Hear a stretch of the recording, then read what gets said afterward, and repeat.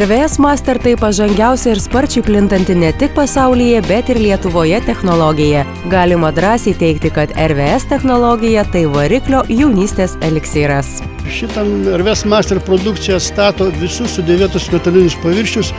E, paimkim variklį, tai paskirstimo velenėlį, alkūninį velną, pirštus, žiedus, cilindrą, mm, paskirstimo velenėlį e, ir taip toliau toliau. Kur, kur, vis, kur vyksta trintis, ten padengia metalo keramiką.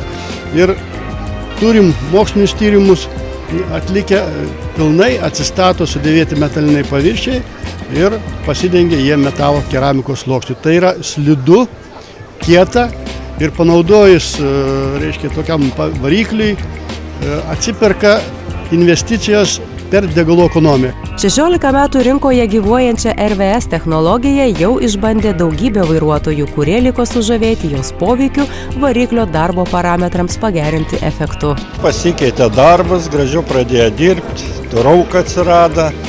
Na ir va, dabar važinėjai va, jau 12 metų, viskas gerai, gražiai dirba variklis, gaila išmesti, nors senų mašinų.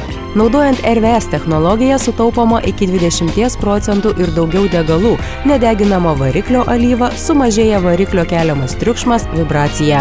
Žiemą variklis užsiveda itin lengvai. RVS Master naujam gyvenimui prikelia plieninius žirgus.